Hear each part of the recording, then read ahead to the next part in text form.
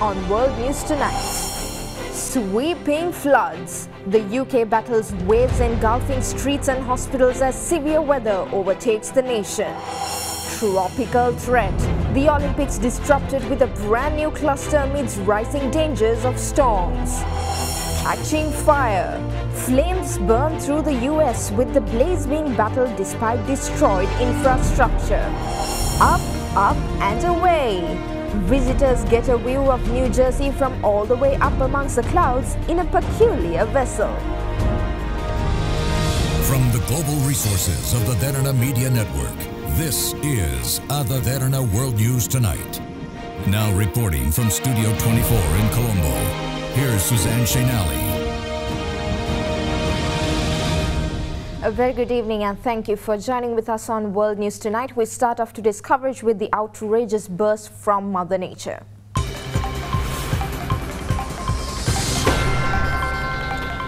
In southern England, thunderstorms have caused flooding in the capital region, submerging roads, train stations and hospitals. Parts of the central line of the London Underground are still closed. Some experts believe this is another example of extremities brought on by climate change. On the ground, we have Derana World News special correspondent Dilini Seneviratne joining us now from London in the United Kingdom. Dilini?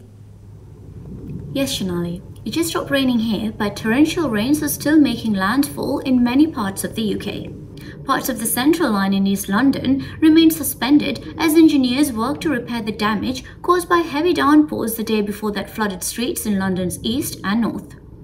Two London hospitals were also flooded and are urging people to visit other facilities instead. And a shopping centre in East London was hit by flash floods. The heavy downpours followed a heat wave earlier this week that brought days of record breaking temperatures. Already, less than two weeks earlier, rain had sent flash floods through West and South London, which left cars abandoned and homes evacuated. Other parts of Europe have also been seeing unusual weather this summer, with record breaking heat at night. Climate scientists believe that rising average, um, average temperatures are likely to lead to more heavy rainfall across the globe. Back to you, Shanali. All right, thank you. That was Ada a World News special correspondent Dilini Seneviratne reporting from London in the United Kingdom. The Dixie Fire has engulfed an area the size of New York City, ripping apart more than a dozen homes and structures and threatening 10,000 more. Tonight, wildfire season in full force way too early. The harbinger, Northern California's Dixie Fire, now torching an area the size of New York City, ripping apart more than a dozen homes and structures, threatening 10,000 more. It's very stressful, uh, scary at times. More than 5,000 firefighters on the front lines struggling to contain the flames after the rapidly expanding footprint merged with the nearby Fly Fire into an unpredictable mega blaze. Crews across the West already stretched thin. Right now, 22,000 firefighters on the front lines of 85 major fires raging across 13 states. So far, more than 2.7 million acres have burned this year, outpacing this time in 2020, their worst year ever recorded, by nearly a million acres. We still have to keep our head in the game because we still have the peak months ahead of us. In Oregon, the massive bootleg fire, the nation's largest, is now burning more than 400,000 acres and only 53% contained. It's so dry that a lot of this is just turning to dust. The sparks of a climate in chaos, igniting fears of another unprecedented year of devastation. Still in the U.S., President Joe Biden and Iraqi Prime Minister Mustafa al-Kadhimi sealed an agreement formally ending the U.S. combat mission in Iraq by the end of 2021, more than 18 years after U.S. troops were sent to the country.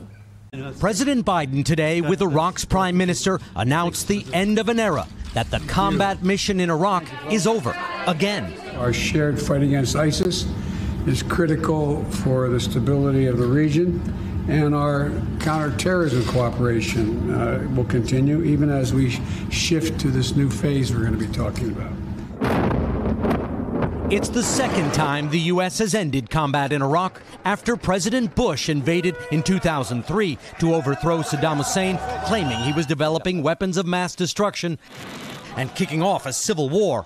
It took nearly eight years for the U.S. to declare the combat mission complete. America's war in Iraq will be over. Then Vice President Biden, with President Obama, welcoming back the last troops from Iraq. But with U.S. troops out, Iraq collapsed, becoming a safe haven for ISIS terrorists. So the U.S. went back in. Today, President Biden said that combat mission, Iraq 2, is over. But this time, a few thousand U.S. troops will stay in Iraq in a support capacity and conduct counter-terrorist operations as needed. It's a very different picture in Afghanistan, where President Biden is fulfilling a deal signed by former President Trump to pull out nearly all troops by the end of August. The Taliban are already making rapid advances. Tunisian President Kais Saied sacked the defense minister a day after ousting the prime minister and suspending parliament, plunging the young democracy into constitutional crisis in the midst of a pandemic. The sudden move by Tunisia's president to oust its prime minister, its government, and freeze parliament with help from the army has left Tunisia in turmoil in what opponents are denouncing as a coup. Those for and against President Kais Saied clashed violently outside of Parliament Monday, with both sides appearing to throw stones. The country's largest political party, a moderate Islamist organization, has condemned the president's actions, which also include imposing a nightly curfew until August 27th. The president's dramatic moves follow months of deadlock and disputes, pitting him against Prime Minister Hichem Mechichi and a fragmented parliament as Tunisia descended into an economic crisis exacerbated by the COVID 19 pandemic. Mechichi on Monday responded by saying he cannot be a disruptive element and will hand over responsibility to whomever the president chooses. White House Press Secretary Jen Psaki said the U.S. is concerned about the situation. We are in touch at a senior level from both the White House and the State Department with Tunisian leaders to learn more about the situation, urge calm, and support Tunisian efforts to move forward in line with democratic principles. U.S. State Department spokesman Ned Price later said in a statement that the U.S. has been in contact with Tunisian government officials to stress that solutions to the country's problems should be based on its constitution. The United Nations is also urging restraint, and the European Union is asking all sides to respect Tunisia's constitution. Saied invoked emergency powers on Sunday night, marching with tens of thousands of his supporters. President since 2019, he campaigned as a political outsider against what he said was a corrupt and incompetent elite. Saied said the decision to oust Mechichi and suspend parliament for 30 days isn't a coup, but a constitutional and popular response to years of political deadlock and economic crisis, including high unemployment. South and North Korea have restored their hotlines as part of efforts by the two country leaders to rebuild strained ties. This comes 13 months after North Korea unilaterally severed it. North and South Korea have restored their previously severed hotline as the two countries' leaders agreed to rebuild ties and regain trust, Seoul's presidential Blue House said on Tuesday. North Korean state media outlet KCNA also said that all inter Korean communication channels resumed Tuesday morning, in line with the leaders' agreement. The Blue House said that South Korean President Moon Jae-in and North Korean leader Kim Jong-un made the agreement after having exchanged multiple letters since April. North Korea first severed the hotline last June as inter Korean relations soured after a failed 2019 summit between Kim and former U.S. President Donald Trump, which Moon had offered to mediate. Moon has called for talks with the North and for the hotline to be restored, pinning high hopes on U.S. President Joe Biden to restart nuclear talks with Pyongyang. Tuesday's announcement came as the two Koreas marked the 68th anniversary of the armistice that ended the 1950 to 1953 Korean War. Let's go into a short commercial break. We'll be back soon with more world news.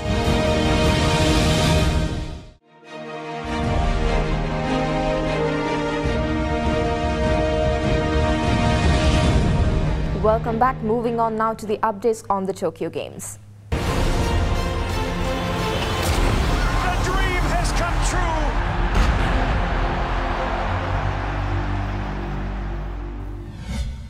Even though the games have commenced, back-to-back disruptions have been pounding the games. In the latest row, there was a tropical storm that delayed the scheduled games for the day, and the Olympics Village reports seven new COVID-19 cases. Tokyo Olympics organizers reported seven new games related COVID 19 cases, including two athletes, on Tuesday. Local news reported an Olympic tennis player from the Netherlands and 12 game security staff have tested positive for the coronavirus. That's despite setting up a bubble system at the Tokyo Games Village, where around 11,000 people are staying. It includes testing at the facility's border. The total count in the village since July 1st is 155 cases. Tropical storm Nepartak, hovering around Japan's east coast, is another headache for organizers. Wind and rain near Tokyo Bay delayed the start of the women's triathlon early in the morning and also disrupted surfing, rowing, and archery medal events. Tokyo is forecast to receive nearly an inch and a half of rain over the next 24 hours, according to the Japan Meteorological Agency. Although facing delays, athletes could welcome a slight break from the extreme heat that had earlier caused an Olympic archer to collapse. Thailand reported a record number of coronavirus cases while Malaysia has notched up more than 1 million infections as the virulent Delta variant carves the deadly path through Southeast Asia, now a global epicenter for the virus. They come wearing protective equipment and bringing life-saving oxygen. But these volunteers are not medical professionals. In Bangkok, where hospitals are full and some 20,000 people remain in need of beds, volunteer groups have been risking their lives to help patients at home. Here, they give oxygen to a 52 year old woman. She and her sister lost their mother to COVID 19 last week. Thailand is registering some 15,000 new coronavirus cases each day as the Delta variant spreads through Southeast Asia. Only about 5% of the country has been fully vaccinated. In neighboring Malaysia, the total number of COVID 19 cases surpassed 1 million on Sunday. Malaysia has one of the region's highest number of infections per capita, but also one of its fastest vaccination rates. About 16% of the population is fully vaccinated, but as Delta spreads, locals say more urgency is needed. In Indonesia, the epicenter of Southeast Asia's outbreak, the number of deaths reported each day has been steadily growing, with over 1,500 recorded on Friday. With less than 7% of the population fully vaccinated, the Indonesian president said Sunday the government is adding more intensive care units and extending virus restrictions by another week. Now in the Middle East, Israel is considering giving a third shot of the Pfizer-BioNTech COVID-19 vaccine to its elderly population even before FDA approval in order to help fend off the Delta coronavirus variant. More on this, let's cross over to Ada Derana World News special correspondent Christina Almeida joining us now from Riyadh in Saudi Arabia. Christina. Yes, Shanali. US and EU authorities are considering whether booster shots are needed for specific risk groups. Israel began offering boosters to immune-compromised people this month on a case-by-case -case basis.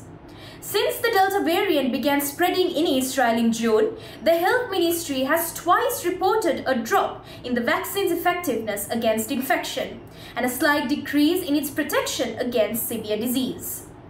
A decision should be made in the coming weeks, and it would likely affect people either 60 to 70 years old and up the high-risk group, first to get the jab when Israel began its vaccination drive.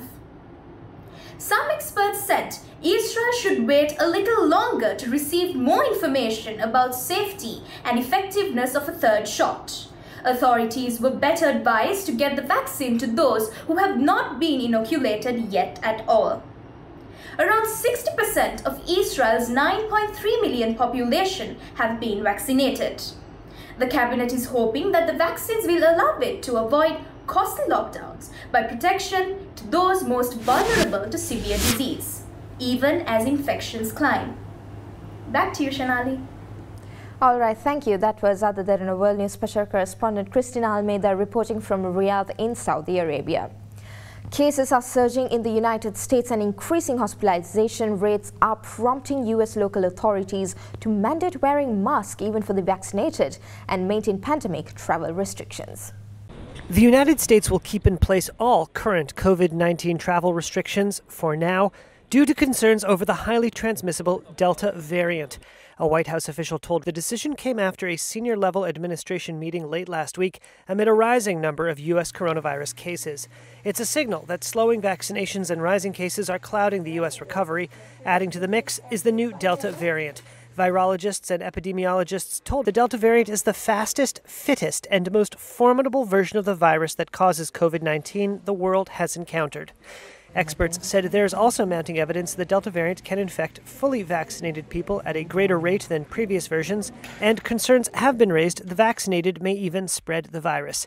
In the United States, which has experienced more COVID 19 cases and deaths than any other country, the Delta variant represents about 83% of new infections. So far, unvaccinated people represent nearly 97% of severe cases. The spreading Delta variant has led some municipalities to reimpose mask mandates and is upending expert assumptions about the path of the pandemic. The travel announcement almost certainly dooms any bid by U.S. airlines and the U.S. tourism industry to salvage summer travel by Europeans and others impacted by the restrictions. Airlines have heavily lobbied the White House for months to lift the travel curbs. The United States currently bars most non U.S. citizens coming from the United Kingdom, most EU nations, China, India, South Africa, Iran, and Brazil. We have some good news for you. A mixed vaccination of first AstraZeneca and then a Pfizer COVID-19 shot boosted neutralizing antibody levels by six times compared with two AstraZeneca doses, a study from South Korea showed. A new medical study from South Korea says that a shot of the AstraZeneca coronavirus vaccine, followed by a shot of the Pfizer BioNTech vaccine, can boost some antibody levels by six times compared to using just two shots of AstraZeneca instead. The findings from Korea's Disease Control and Prevention Agency follow a similar study in the UK last month. The studies would support the decision by several countries to allow people who've had a single shot of AstraZeneca to use an alternative for their second dose after AstraZeneca was linked to rare blood clots. It includes Canada, Italy, and China, although the World Health Organization has warned against the practice, saying there isn't enough data about the health impact. The South Korea study specifically focused on levels of what are called neutralizing antibodies, which prevent coronavirus from entering cells and replicating.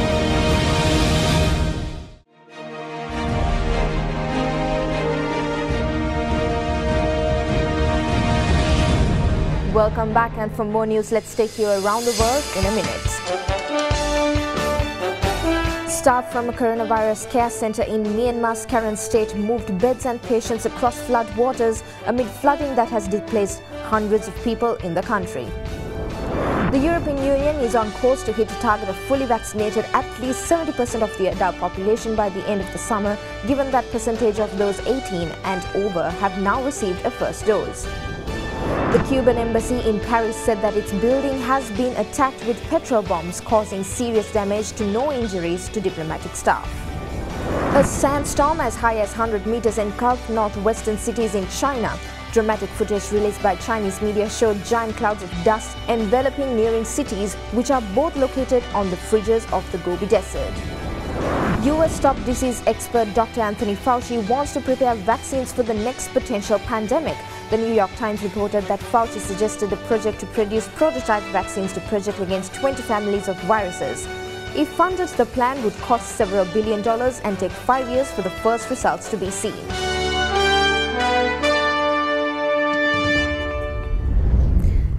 Finally tonight, the 38th annual New Jersey Lottery Festival of Ballooning returned to Solberg Airport in Readington, New Jersey.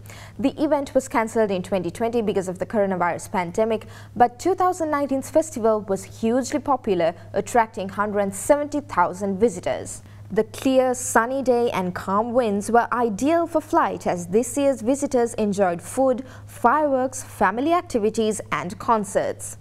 There were 100 different hot air balloons, including a New Jersey Lottery Summer Days balloons that shaped like the sun.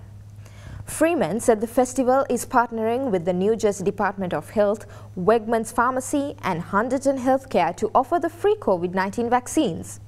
Those who get vaccinated will receive ticket discounts and be entered into a sweepstake for a chance to win a ride in the New Jersey Lottery Balloon. The New Jersey Division of Travel and Tourism says the annual festival is the largest summertime hot air balloon and music festival in North America. Well, that's all the news we have for you tonight. Join us again tomorrow with another edition of World News. I'm Suzanne Shinali. Until then, stay safe and have a good night.